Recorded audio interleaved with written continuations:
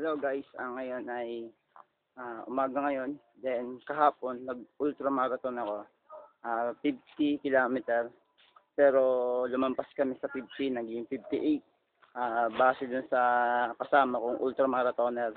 Then pero yung ultrang yon na 50 kilometer, nung lumampas kami, naging 58.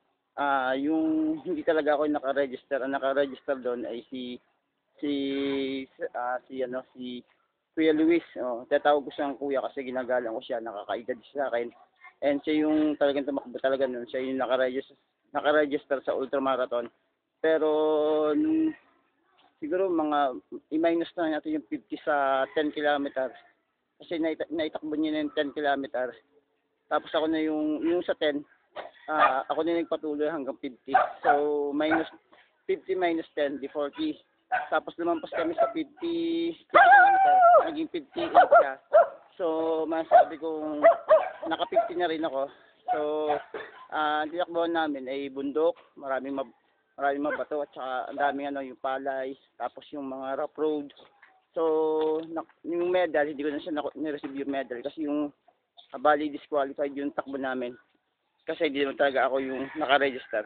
So, yung patakbo yun, dito yung ginanap sa Sariaya. And organizer nun ay ah, dito na nag-migrate sa Sariaya, Quezon. Pero ang pangalan niya, nakalimutan ko na. Then, ah so naka-experience ako ng mabatong takbuhan, maputik, ah basa yung sapatos, tapos ang hirap ng marker, tapos ah masaya yung ganun palang ultra. Masaya din at saka mayroon lungkot kasi may maraming mga ultramarathon na nahirapan so pilay-pilay. Kaya kaya yung mga nag-ultra so daming ano, dami silang injury. Kasi dinaanan talaga nila puro mga trails ng train, hindi ka talaga makakatakbo na mabilis. Kasi kailangan mo talagang maglakad. Napakalayo nung lakad na na ginawa kasi rails ng train yun. Tapos yung ilog, alalayo ng mga marker. Tapos, so may mga naka-jamming din ako, nakakwentuhan. Yung hirap naman dinanas nila ng pagtakbo. And, masaya din kahit pa paano kasi kahit masaya na nakatapos ako ng race. Kasi inaali ko yung race na yon para kay Kuya Luis o si Sir Luis, Luis Pinid. And sa pagtakbo ko ito, kakaiba yung experience na pwede ko din ipagmalaki na kahit pa paano nakatapos ko and pinagkatiwala sa akin yung takbong yun. So, pilay-pilay ako ng ngayon kasi may injury din ako. Pero, malakas kasi yung loob ko kasi hindi ako tatakbo ng 50 kung wala akong training na 50, na masigit pa sa 50. And, ah yung pagiging ultra, kakaiba yung ano, humahanga ako sa kanila kasi ang tatag nila sa init. So, may mga paraan sila para sila makasurvive. And, yung tawag kasi dyan survivor race yun eh. So, yun lang.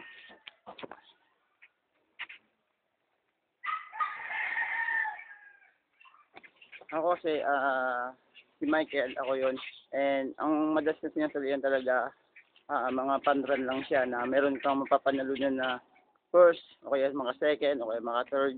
So, depende sa category, category and depende rin sa budget, yung cash price. Then, yung mga sinasali ko, mga 3K, 5K, 10K, hanggang dun lang. And, so yung mga ginagawa ko yun, first experience ko na napabawa ko ng ultra. Pero kakaiba, hirap. Iba yung, iba yung bibilib ka sa mga nag-ultra kasi yung mga nag-ultra talaga, sanay sila sa ano, sa init ng araw. Tapos, may mga baon sila ng tubig. So, may mga ba, ah, may mga dala silang pantabi ng aso. May mga ilaw sila. Pero ako sumali ako sa ultra. Ah, as in parang nagpanran lang talaga ako na na wala akong mga ganong gadgets, wala akong ganong ilaw, wala akong ganong ah, taklob sa sa kamay, sa muka. Kasi talagang pinili ko tumakbo ng wala akong naka singlet lang ako tapos naka short. And yun lang. Grabe yung dinas. Tapos wala din akong baon na tubig. So, nangingi na lang ako sa ano, sa ah, yung mga yung merong ano, merong mga taong ah ah meron nagbibigay ng tubig. So, nakasurvive talaga ako. And kakaiba talaga yung ano, yung paghanga ko din sa mga ultra. Kasi ano sila, matatag talaga. As in talagang, ano talaga, ah, hindi ko ma-expect yung ano eh, ah, different emotion, different ah, explanation na hindi ko maano sa buhay ko bilang runner. Ah, message ko sa nagbigay sa akin ng race bib kay kay Sir Ruiz. Then, ah, maraming salamat sa iyo. And talagang gusto ko na rin na makatakbo ng ng ultra and pinili ko talagang tapusin yun para sa iyo and sa iyo ko inaalay yung takbong yun kasi gusto kong ipakita din na na makatapos din ako para sa iyo and yun lang. And kahit di natin nakuha yung medal di natin nakuha yung trophy di natin nakuha yung finisher t-shirt ah hindi masyado akong okay lang kasi ah ginawa ko yung best ko para sa iyo and thank you so much sa iyo ah Sir